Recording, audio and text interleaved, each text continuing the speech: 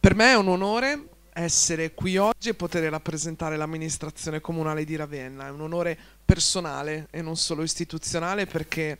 in questi anni di collaborazione eh, mi avete mostrato una realtà, una storia di questa città che è una storia bellissima e che parla un po' la storia della nostra terra, la vostra generazione, la generazione fondativa di Hauser è la generazione che si è impegnata nella ricostruzione del paese, della nostra terra, che ha trascorso la sua vita nel segno dell'impegno, dell'impegno nel lavoro, dell'impegno politico, dell'impegno nel sindacato, dell'impegno nel volontariato, come un ciclo continuo, come una filosofia di vita che ci fa considerare che non siamo noi da soli, ma che dobbiamo sempre tenere presente gli altri, che siamo parte di una comunità. Questa è la storia di Hauser ed è la storia che ha fatto grande la nostra terra, il nostro, il nostro territorio. È la storia eh, anche di una generazione che nonostante abbia attraversato delle fasi critiche del, della nostra città, della nostra regione, del nostro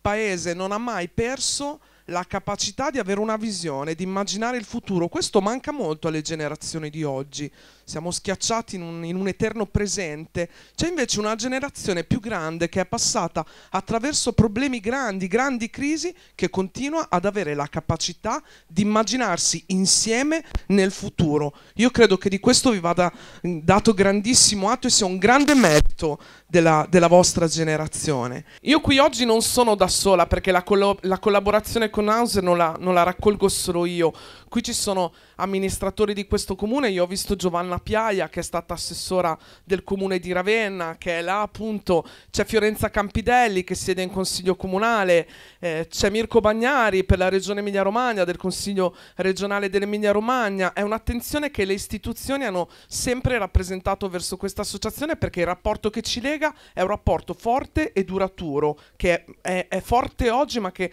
sarà forte anche domani. E chiudo dicendo che